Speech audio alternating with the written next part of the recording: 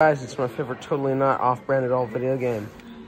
James Pond, codename Robocod. Oh, sorry, no. James Pond 2, codename Robocod. Yeah.